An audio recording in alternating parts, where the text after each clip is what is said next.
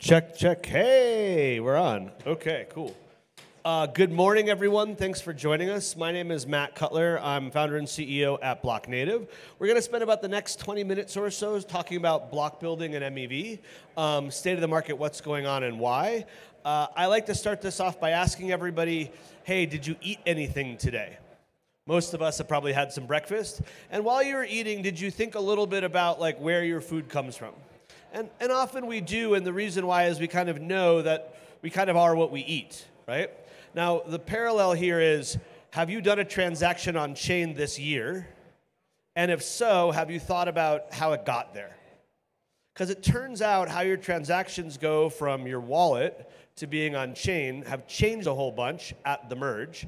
And entities like us, Blocknative, are responsible for ensuring that your transactions get on chain in an orderly fashion. And so what we're going to do is talk about how all this stuff works it's kind of surprising and there's a whole bunch of new interesting possibilities surrounding it that are really pretty fun and interesting.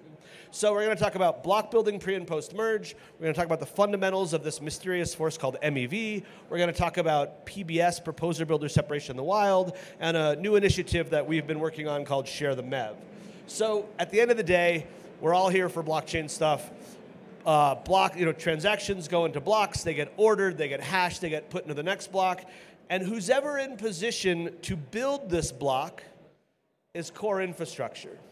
And I always ask people, have you ever thought about how that happens? Like, who is responsible for actually constructing the block? And the answer is pretty surprising. Because under proof of work, pre merge, the people who built blocks, there were literally like four or five entities on the entire planet that built virtually all the blocks. They were the mining pool operators. So uh, the Ethereum network under proof of work uh, was secured by computers doing uh, solving math problems, but they were largely organized into mining pools and when you're organized into a mining pool, the block template, i.e., which transactions are in it and in what order, get handed to you by the mining pool operators. So this was vastly more centralized than most people anticipated. Uh, virtually all the mining pools were located offshore and subject to different jurisdiction. And there was evidence of manipulation occurring at the block builder level because it turns out sophisticated actors with lots of resources, if you can create off chain agreements, you can get preferential treatment. And that's not so much in line with the values of Web3 as an equitable system for us to work with. And so there's a whole bunch of work that happened around this to basically try to better understand uh, what was happening and try to open this up. And the good news is at the merge, one of the fundamental changes to the network was known as proposer builder separation. And what happens in proposer builder separation is a validator someone who is locking up ETH and has the opportunity to help secure the network, they assume the role of proposer, meaning they have the opportunity to propose a block to the network.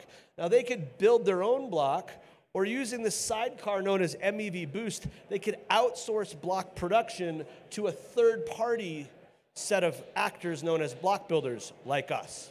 Specialist providers whose job it is is to build great blocks for the network. Okay? And the interesting question is, why is this a thing? Why is this happening and what's going on here? And this is optional. So the validator has the option to run this thing called MEV Boost. And you'll notice MEV Boost has these magical three letters. MEV is maximal extractable value, and that is value derived from explicit manipulation of transaction ordering. All transaction systems have to be ordered, and it turns out if you can control that ordering, you can set all sorts of value. And, and that's how this whole system works. So naive transaction ordering is as you take the transactions in the mempool, you can see each one of these transactions has various gas prices, and you just sort of set up the block to say the most valuable transaction in terms of gas price goes at the top and the least goes at the bottom. Awesome. But imagine there's a transaction here, transaction D, which moves the price on an exchange. And now there's a price differential between exchanges, which sets up an arbitrage opportunity, meaning someone can insert a transaction and basically normalize prices and extract a little bit of a profit, which is great for the, the health of the network. But see, this arbitrage transaction has the same gas as transaction I. And so, who's ever doing this arbitrage transaction isn't exactly sure they're going to get it right behind that. And so, what happens here is things like gas wars where people spam the network with all sorts of transactions in effort to get right there. And the whole network suffers because gas prices go up. So instead, what you do is you, you have what's called a bundle, where you bundle these two transactions together and you say, if you include my arbitrage transaction right behind transaction D, maybe there's $100 of profit, I'll pay you 50 to do this. So there's sharing of revenue in this ecosystem because there's value which can be extracted as a result of this ordering. And there's all sorts of ways that this ordering can occur. There's front running, where you're trying to get a transaction in front of another transaction. There's sandwiching, where you put a transaction in front and behind of a certain transaction. If anyone's ever done a Uniswap transaction on public mempool, this is what's happened to you. And as a result of uh, sandwiching, you suffer less favorable settlement. Not great. Um, and there's even transaction suppression or censorship, where you say, I don't want transaction I to get into this block, so I'm going to flood a bunch of other transactions in and push it off the bottom of the block. This is the sort of thing that happens with NFT drops, right? People try to get in front, your transaction doesn't get in. So what's, well, MEV feels a little funny, it's actually everywhere. That, that all ordered systems have MEV in them by definition. So we're all used to search engines. And we all know the idea that being search result 1 is more valuable than being search result 12, right? Why? Because there's more clicks. And we're all pretty comfortable with the idea that there's this art called search engine optimization where you manipulate search engine indexing so you get higher ranking, right? No problem. And we're all used to the idea that when you like call in to try to get concert tickets, the faster you get in, the better tickets you have access to. And we all know that look, when weather gets bad at an airport, the airlines that have more gates get their planes landed, and the smaller airlines get delayed. These are all examples of MEV, okay? However, in Web3, it's open and transparent. We can see it, which you can't see in any of these other systems. And that's what makes this really interesting and really powerful. So, does it work? So, we made this big change at the merge. It was about five and a half months ago. And the simple answer is hell yes, okay? today, this was, I took the screenshot earlier this week, 97% of all Ethereum mainnet blocks are outsourced to block producers like us. 97%. And why does this happen? Well, because the rewards for a, a validator are 4.18x, so over 400% more value per block when outsourced. And interestingly, if you look down here, average transactions included 100 for a vanilla block, 154 for an outsourced block. So professional block producers or third party block producers are much more efficient about including value in blocks, much more efficient about sharing that value with validators, and much more efficient about using block space effectively. So there's all sorts of incentives for the network to outsource block production to specialist providers like us.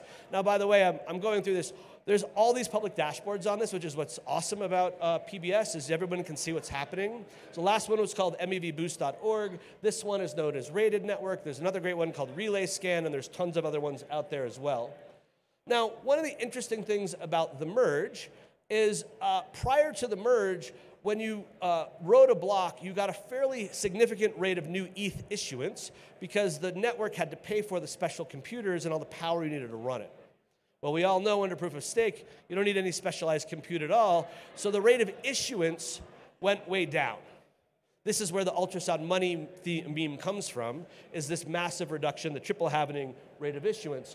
But because the value in a block is a result of these three things, when issuance goes down, the relative influence of these other two things goes up. So here is a, a graph. The blue is the value in, the in a block for gas fees. The orange is value from MEV, from transaction ordering. Is the orange big or little on this? Like, it's pretty big. So while MEV itself hasn't really changed much as a result of the merge, it now exerts a much greater influence on the network particularly in relative proportion to the rate of issuance. So MEV is a bigger force than it was before, not because MEV has changed, but as a result of this drop in issuance. And what we're seeing here is uh, the number of private transactions, MEV bundles, appears to be gradually rising. So here's the merge 915. About 1% of all transaction to block on average in a day were uh, MEV bundles. And now you can see today it's between 3 and 4% of, on average in a given day, between 3 and 4% of all mainnet transactions are MEV bundles or otherwise private. And you can see we started at about 20% share of the network, and now all these relays uh, consist of more than 90% of the network. And by the way, the red here is Blocknative. That's us. We operate a relay um, as part of all of this. So PBS is going pretty well, but there's plenty of room for improvement. It's new, and while it solved a lot of interesting issues, it also raised some issues, like, well, you know, when you produce a block and you propose it to the network, you're basically competing with other block builders. So every 12 seconds, there's a new slot. We, as a builder, try to build the most profitable block, and we bid for the right to propose it out. Now, let's say we build a, a block for one ETH. We could bid one ETH, like exactly what we have. We take no margin as a result. We pass all the value onto the validator, and that's this gray line right here. This is percent of blocks with no margin, okay? Or we could say, well, there's one ETH of value. We're going to bid 0.9 ETH, and if we win, we capture 0.1 ETH that we can basically collect as revenue. That's the green line. This is number of blocks with positive margin. But what's happening today on the network, I don't think anyone really anticipated when they introduced PBS, is you can bid one ETH. I mean, you have a block of one ETH, but you bid 1.1. You actually subsidize the network. And, and what's interesting is the number of blocks with subsidies on average is going up. At the moment, it's about 35% of all blocks are subsidized. Like, who's subsidizing and what are they doing? And the vast majority of these subsidization is things like uh, uh, CEX-DEX arbitrage, where you're arbing between decentralized exchange and centralized exchanges. But the arb that you're making on the centralized exchange doesn't appear on chain. So, from the perspective of block building, it looks like negative subsidies or you know subsidies. And so it's again, it's sort of interesting. You can look into this and see which builders are subsidizing and wonder why. And also question like, is this sustainable for the network? Now, as a participant in this ecosystem, we think this green line should be healthier because ultimately it's in everybody's best interest that this, is, this ecosystem is functioning properly, okay? And, and I think the, the economics are getting there, it's just early and emerging. Now, this is a graph of all the builders. There's about 140 builder addresses. There's 540,000, give or take, validators, often in, in mining pools, and there's just 11 relays that stand in between. 97% of Ethereum blocks occur through MEV Boost, and all of them go through one of these 11 relays. We're one of the relay operators, right? But it would seem to us that we want more relay participation and greater levels of relay diversity. And each major staking pool can connect to various relays. Here's Coinbase, they're one of the largest. They talk to only two relays. So any block validated by Coinbase comes from one of two sources. And again, our attitude about all of this is if you're operating a staking pool, you should probably be connecting to as many relays as possible to encourage diversity at the core of the network. So here you have that. We view this as not great. We think that there should be uh, more economics at the MEV boost level, at the MEV boost relay level, and, and to encourage more participation because today there's no economics there. Um, but what all of this does is unlock programmable, fluid, expressive value flows and, and what's interesting here is we can start to think a bit differently about MEV. In particular, where does MEV come from? Without a transaction, there's no MEV. And who does those transactions? You do. Without an end user doing transactions, there's no MEV. Now, when you do a transaction on chain, are you aware that there might be MEV? No. Do you consent to being sandwiched or bundled? No. And the reason why is you have no opportunity to express your preference to the network. That all those preference expressive uh, uh, uh, uh, setting it happens down the line.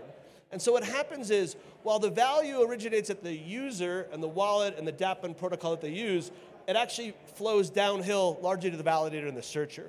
And, and we think that there might be better approaches here where this value can be recirculated because you have third-party builders like us who can programmably uh, specify how the block works, we can recirculate MEV value back up the value chain. And so uh, we're actually working on a draft proposal right now that we're announcing here at ETHDenver that we're calling Wallet Boost. It's a sidecar for wallet providers to give them access and exposure to this magical world of MEV without having to have a ton of complexity in their infrastructure and without having to pollute the UI of the, the, the wallet experience. So this is something that we're discussing with a, with a variety of providers, and if it's relevant for you, we'd encourage you to check it out. We'd encourage you to provide comments and feedback on it. There are multiple proposals out there right now surrounding Share the MEV, which is a meme that we really started at the beginning of all of this. So we're quite excited about the level of sort of industry activity around creating greater degrees of equity in the system so that value can in fact recirculate back. And if you're interested to talk about this or anything that I've talked about today, we have a booth that's right around the corner over here, sort of by the Spork Whale Lounge, and we'd love to talk with you about that.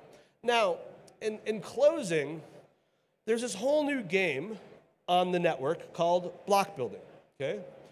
It involves outsourcing compute, network, and storage to a specialized set of actors who can construct valuable blocks on behalf of validators and basically keep the network operating and healthy. But this model doesn't end with block building. That in fact, when you have this, this source of, of compute, this sort of net, source of networking, this source of power, you can use it in all sorts of other ways. So coming soon is EIP or ERC 4337 account abstraction. And these same capabilities for block building can be applied there. Similarly, right behind that, we have 4844 proto-danksharding uh, with data availability sampling. The same set of infrastructure can facilitate here. And as you start to get more and more capabilities in the network, with more and more specialized actors who can apply heavy compute to it, you can start to do all sorts of really interesting things like gas sponsorship, gas futures, block futures, pre-confirmation, and much more.